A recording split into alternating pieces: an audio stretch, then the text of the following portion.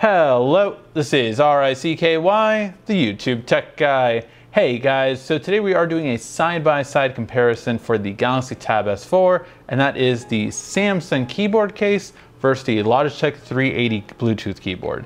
And overall, between these two, I really wanted to find out which one is the best one for productivity, to type up papers, emails, and be overall productive as Samsung claims I can be with this tablet. So overall, I really wanted to see which one was the better one. Now right away when it comes to just the better feeling keyboard, I easily have to give that to Logitech. One, just because when you put these side by side, the Logitech is definitely wider.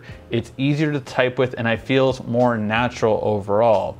Now, I tested this out by doing a couple of speed tests at typing and overall, while neither was perfect, definitely when I compare these two, the Logitech keyboard had a better words per minute and better accuracy when compared to the Samsung keyboard case overall, this kind of showed me that not only was I more accurate and where the words per minute was better, but it just felt better overall. Not only that, but then we go to the multimedia keys.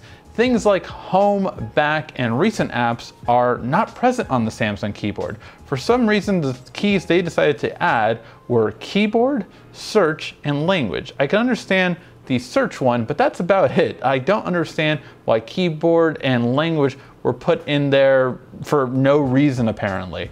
Overall, I don't understand why you would need those, especially a keyboard when you have the search button and instead of a back button or a home button. Yes, I realize you can just touch the screen when you need to, but is it really something that's going to be that much more often or at least allow it to be programmable?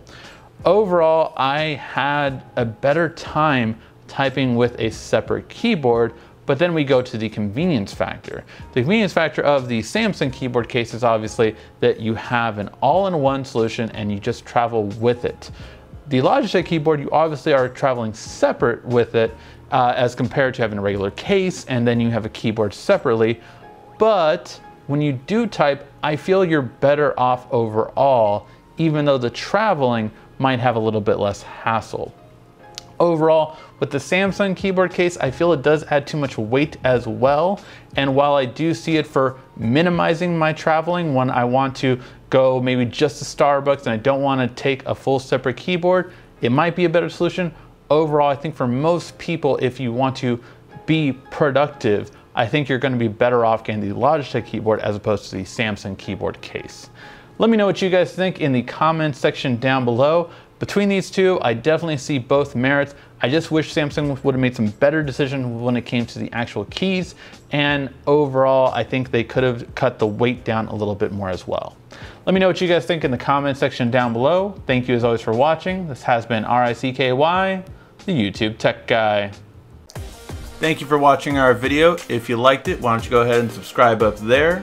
Make sure you follow us on social media right here. And of course, check out our latest video up there. And right down here, you're going to find the perfect video for you. Or at least that's what YouTube tells me. Thanks again.